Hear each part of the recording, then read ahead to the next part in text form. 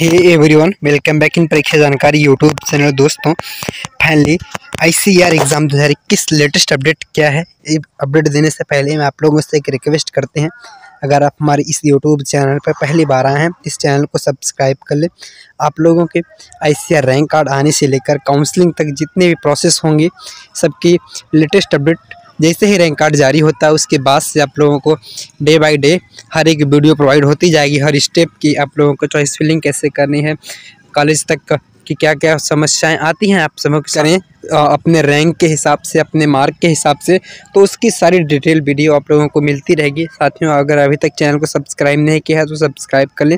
आइए आपको बता देते हैं कि फाइनली क्या लेटेस्ट अपडेट है रैंक कार्ड को लेकर। साथियों, जैसा आप सभी जानते हैं कि आज तेरह नवंबर है और अभी तक आप लोगों के रैंक कार्ड नहीं जारी की गई है। तो साथियों आप लोगों के फ्रस्ट्रेशन आप लोगों की जो समस्याएँ हैं वो काफ़ी ज़्यादा विकट होती जा रही हैं एनटीए की वजह से क्योंकि आज हमारे पास से कुछ गार्जियंस के और कुछ छात्रों के जो कमेंट्स आए थे खास करके हमारे सोशल मीडिया पर बेसिकली हमारे व्हाट्सअप पर कि आ, हम हमारे बच्चों का अभी तक रैंक कार्ड नहीं जारी हो रहा है और हमारा जो बच्चा है वो ड्रॉपर है।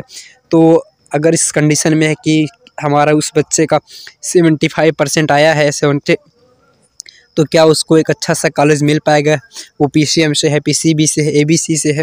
वो तमाम उनके मन में, जहन में ढेर सारे ऐसी समस्याएँ हैं कि अगर रैंक कार्ड जिस प्रकार से लेट होगा, उनको भी कहीं ना कहीं डर है कि जैसे जैसे रैंक कार्ड आने में लेट होगा काउंसलिंग प्रोसेस होने में जितनी कठिनाई होगी, देर होगी, वैसे वैसे अनेक जो दूसरी जगह पर है जहाँ पर एडमिशन के भी चांस है, वो भी चांस उनके हाथों से फिसल जाएगा। तो इसलिए वो चाहते हैं कि जल्द से जल्द रैंक कार्ड एनटीए जारी करें। तो साथियों, अभी तक जारी नहीं हुआ है। मैं आप लोगों से अपील करता हूँ कि कल क्या हम सभी लोग मिलकर सुबह में तकरीबन ग्यारह बजे एक ट्विटर पर कैंपेन चला सकते हैं बाइकआउट एन और दूसरा जो कैंपेन है वो कि रैंक कार्ड जल्दी जारी करो। Hashtag rank card release 2021 का अगर हम लोग कैंपेन चला सकते हैं तो चलाने का पूरी तरीके से कोशिश करें ताकि एन टी पर एक मनोवैज्ञानिक दबाव बनाकर जल्द से जल्द अपना रैंक कार्ड जारी करवाया जा सके। तो साथियों, अभी तक की लेटेस्ट अपडेट है।